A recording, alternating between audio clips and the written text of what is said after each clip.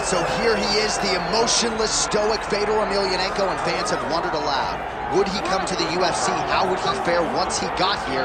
Those questions get answers tonight. John, you said stoic, but when you watch Emelianenko walk to the octagon, all you're missing is like snow coming down and it getting real dark, and everybody's kind of walking with the big Russian hat because he just is that unknown that we have all wanted to kind of get a beat on. But what we do know is that this guy can absolutely fight. He's got tremendous wrestling, grappling, and unbelievable knockout power.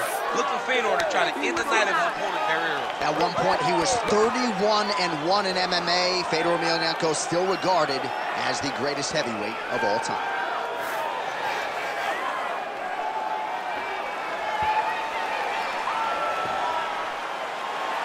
The last emperor, Fedor Emelianenko, ready to reward his supporters once again here tonight.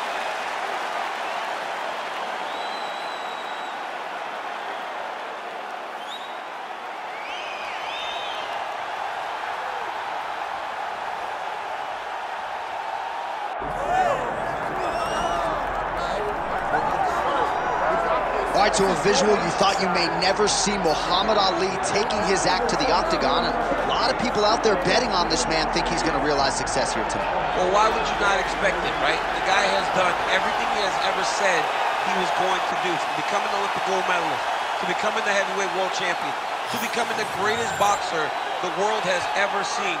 This guy is a fearless competitor. He has tremendous hand speed, unbelievable footwork, but it won't be those gifts that allow him to find success in the UFC. He's gonna have to mix everything up. Sort of felt like he had exhausted the boxing world, felt like this was the next professional challenge. Perhaps a case of be careful what you wish for. Muhammad Ali gracing the octagon here tonight. The greatest of all time, Muhammad Ali, steps inside the octagon. He is ready to fight. Our tale of the tape for this heavyweight championship fight. All right, now for the official introductions, the veteran voice of the Octagon, Bruce Buffer. Ladies and gentlemen, this is the main event of the evening.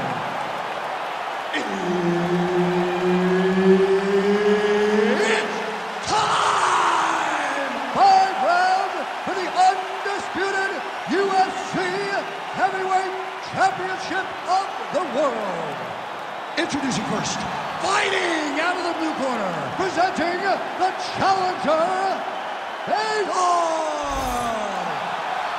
And now introducing the champion, fighting out of the red corner, presenting the reigning, defending, undisputed UFC heavyweight champion of the world, Muhammad Ali! Herb Dean, our referee for this one. Well, a true pinch-me moment for mixed martial arts fans around the world as they have locked the octagon door behind Muhammad Ali and the all-timer Fedor Emelianenko. You know, John, they talk about the greatest of all time. We get an opportunity to see two guys who at one point were considered the greatest of all time in their craft, as Muhammad Ali is considered the greatest boxer of all time. And when Fedor Emelianenko was on that run, many thought he was the greatest MMA heavyweight of all time. These two are fighting for history tonight. Let's see who gets the job done. Oh, he's wobbling down.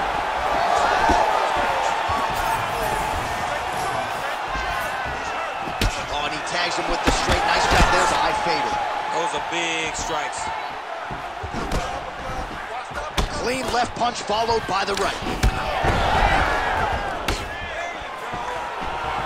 Takedown defense is there.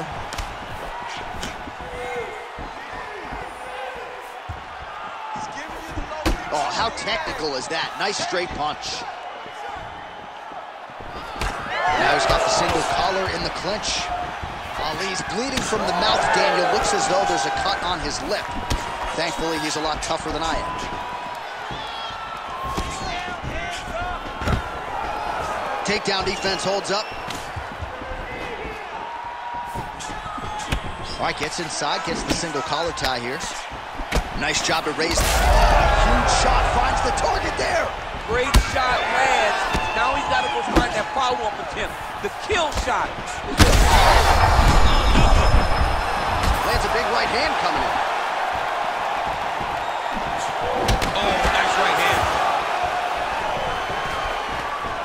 Under two minutes to go. Oh, man, this is wild. These guys are both throwing everything with fight-ending intentions. Oh, that's a big right hand that got through. Big kick lands. They're so evenly matched, and they're going tit for tat. Timely defense there. Huge block for him. One minute to go in the round. Oh. oh, he is hurting for certain.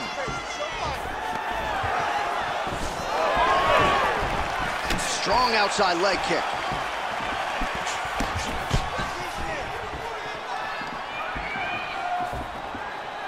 Back to the jab now, no good.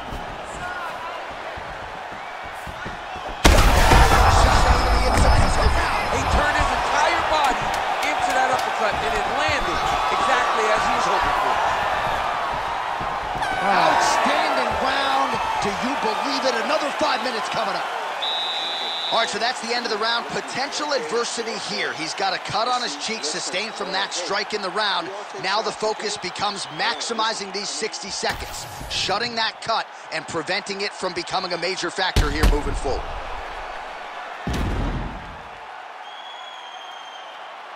All right, so there's the horn signifying the end of the round. We had a knockdown there, but not a knockout. No, it wasn't a knockout, but you can't take those shots. That big punch landed, and it sat him down. If he gets hit with another one of those, it might be good night, Irene. You ready to fight? Ready. All right, round two. Oh! He needs to start looking to finish now because he's got his opponent hurt very bad.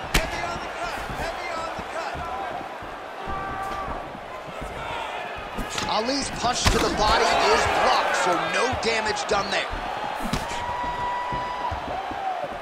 Straight right, he misses. And now they are throwing both sides with conviction. Well, you see him land the jab there. He's got the reach advantage. That's it. A huge shot there, DC. I'm not sure how he stayed upright.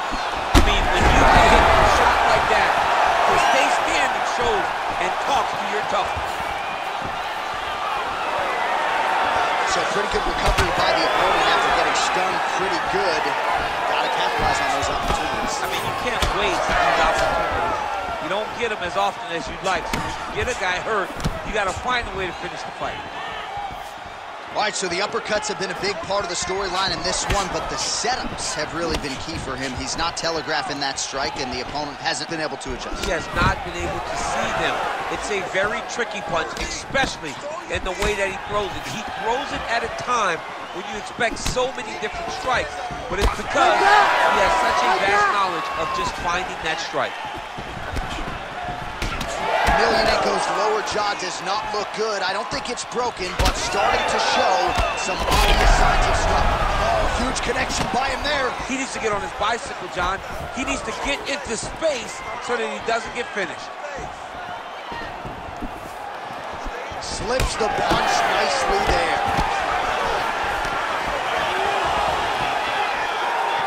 Under two minutes to go. Let's work. The right hand just misses. So he he's hurt bad. He's hurt bad, John. He's got to press him. He's got to go chase that finish down now.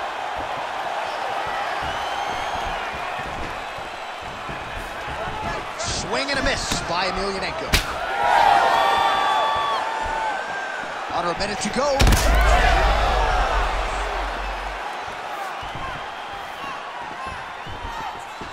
Slips that left hand.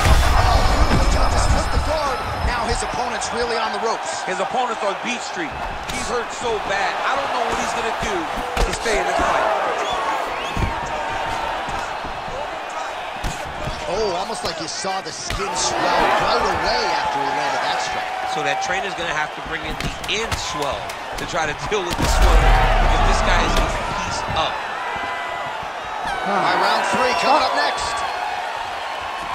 All right, so there's the end of the round. You see the blood trickling down as he makes his way back to the stool. Cut on the bridge of the nose, or so it appears from the strike in that round. Cut man getting right to work. All right, so there's the horn. He got knocked down by a punch in that round, but he is able to survive. We'll see if they can make some adjustments. He's as tough as they come. He took that shot and he kept plodding forward. He got off of his butt. He got himself off of the canvas and tried to get right back to work but he cannot take many more of these. You don't want to be the guy that's testing how tough that your chin is.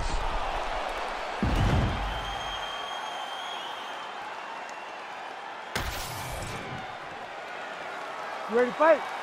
Ready.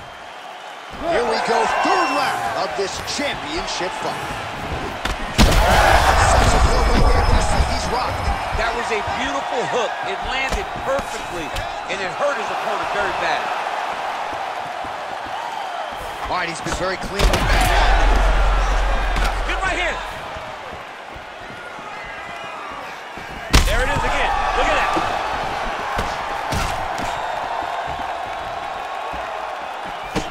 Barely missed on an uppercut right here.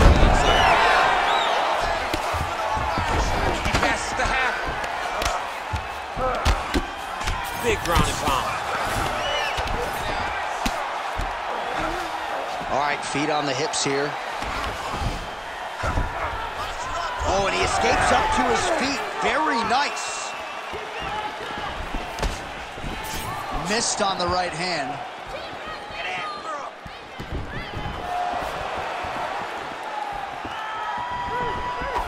Offensive fight. Nice job to block the shot there. Oh, my goodness!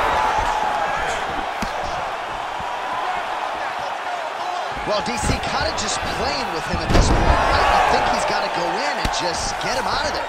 Well, he's trying, but he gets a little bit anxious, so he starts to throw a lot of punches, and not now he's looking arm triangle on the opposite side. When he goes to finish, look, he's got it locked. When he goes to finish, he has to pass his body all the way to the opposite side, drop his chest to get enough pressure to finish the technique. Nicely done. Oh, you gotta love the ground and pound strikes here. Oh, and another punch on the ground gets through. May need some defense here. All right, seems as though his sole focus is attacking that cut, and man, it's getting bad now. A lot of blood flowing. Yeah, as it should be. He should be focused on getting to that cut, making his opponent pay. He did the work. He opened up the cut. Now it's on him to continue down the path and make the ringside position come in here and try to stop this fight.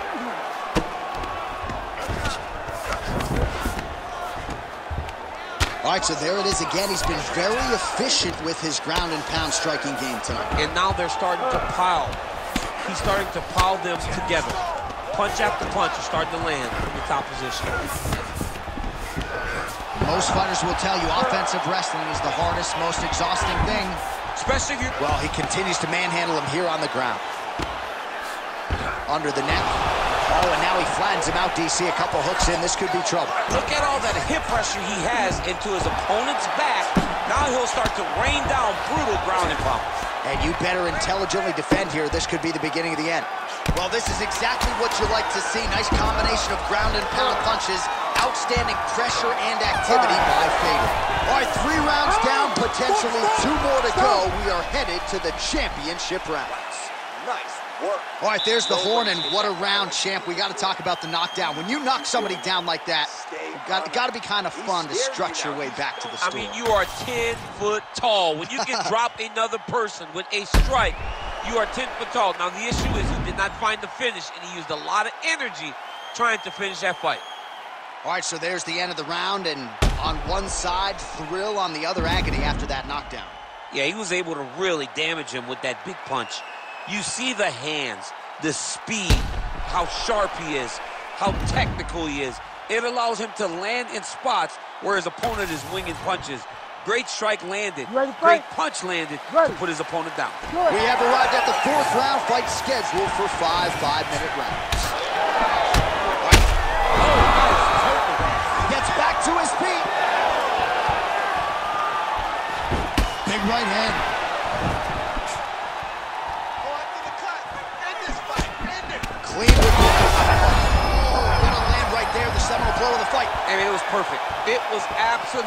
Perfect, John. Great placement on that uppercut.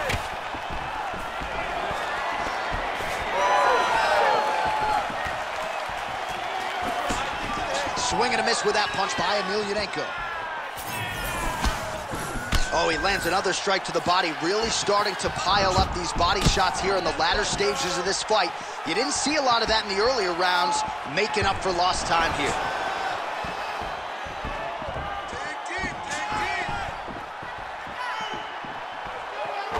Well, straight right hand has been a good weapon for him. He misses with it there. Ali's taking aim at that cut right now, and hard to blame him.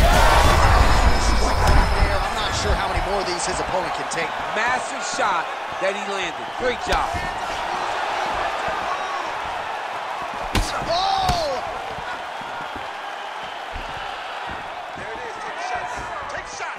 Throws a big right hand, but doesn't find its home. Nice defense there. Huge block.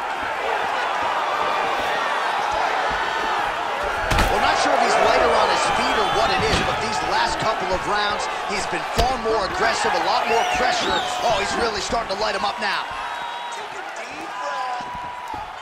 So three minutes have flown off the fight clock there.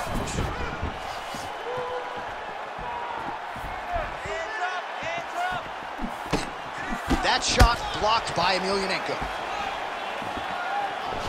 Trying to hammer. That's as good a punch as he's thrown all night. The punch that lands down the middle, the one that you don't feel is the ones that land perfect, and that one landed perfectly. Oh, to his hands up, man. Keep your hands up. Keep those Back to his feet. Both of these gentlemen are putting it on the line. Just misses with the jab there. Fedor Emelianenko gets tattooed by that stiff jab. Oh,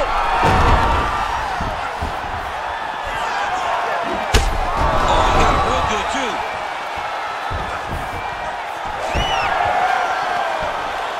Fifteen seconds to go. Oh, my goodness. I mean, you gotta be kidding me. Everybody here inside this arena digesting what they just saw. That is not a TKO, folks. That is a clean knockout result tonight. I mean, just wow. What a performance by this young man knocking his opponent out with a single shot like that.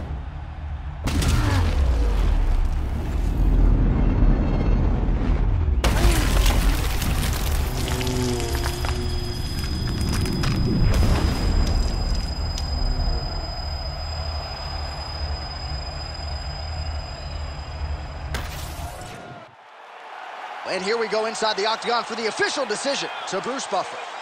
Ladies and gentlemen, referee Herb Deans called a stop to this contest at 4 minutes, 50 seconds of round number 4.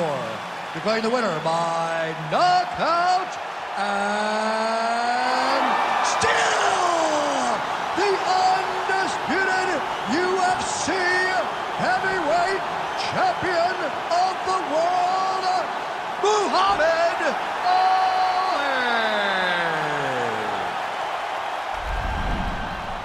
Still the baddest man on the planet. I know you haven't retired yet, but uh, I don't necessarily want to see you share the octagon with that monster. I mean, this dude is a savage.